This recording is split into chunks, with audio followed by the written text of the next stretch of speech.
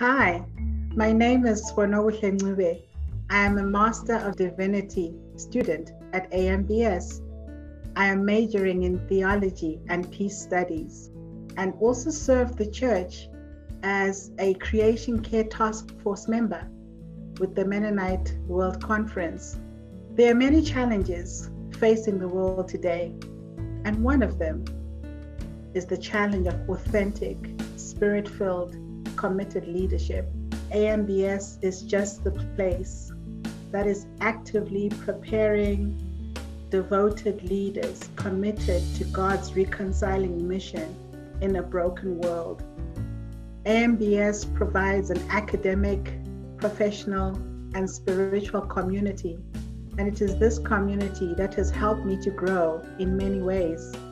Please consider giving today if you can. Anything you give between today and the 1st of December will be matched up to $50,000. Thank you for your generosity. God bless you. Rooted in the Word and growing in Christ.